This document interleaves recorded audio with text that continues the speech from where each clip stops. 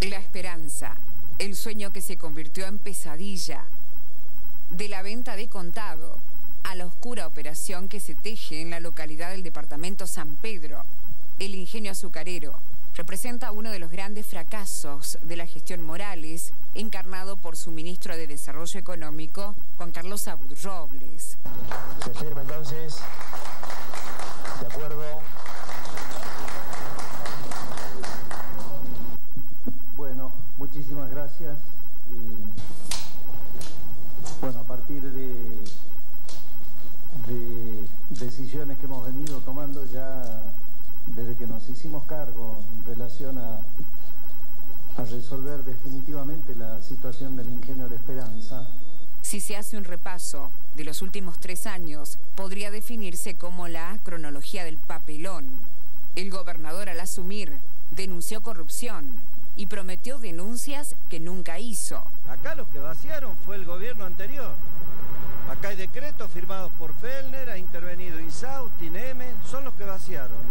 Hemos dado instrucciones al abogado eh, de la masa de acreedores, del comité de acreedores, que, nos representa al gobierno provincial para que vaya a fondo en la cuestión. Después con relación al tema de la investigación, bueno, hay una comisión que, está funcionando.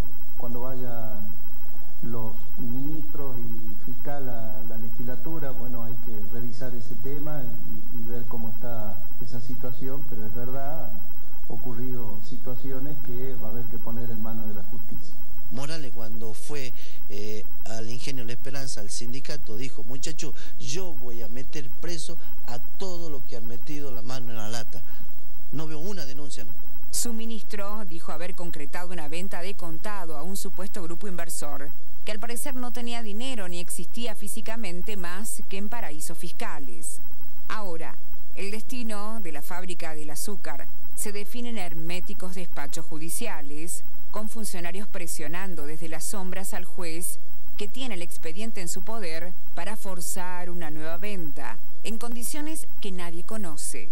No, no, no nos notifican, no nos corren vista y nosotros el 23 de marzo del 2017 lo hemos pedido al, señor juez que somos parte de esto. La ley lo dice bien clarito, que tiene que estar representado por un trabajador, pero lamentablemente el día viernes, recién después de un año y medio, el juez Calderón sacó